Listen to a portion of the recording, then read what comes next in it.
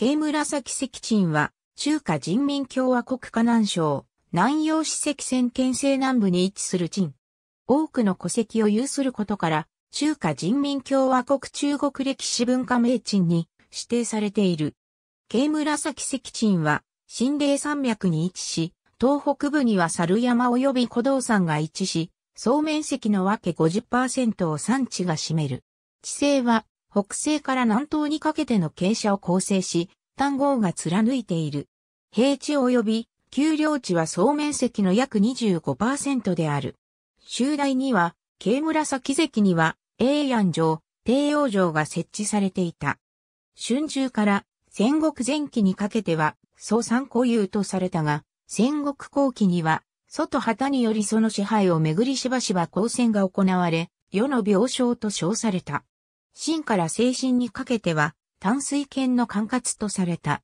東大になると、内郷県、総大には、赤泉県とされ、現代が成立すると再び、内郷県の管轄とされた。民進代には、関泉町茨古里の管轄とされている。中華民国の時代になると1947年に、慶紫関里と改変された。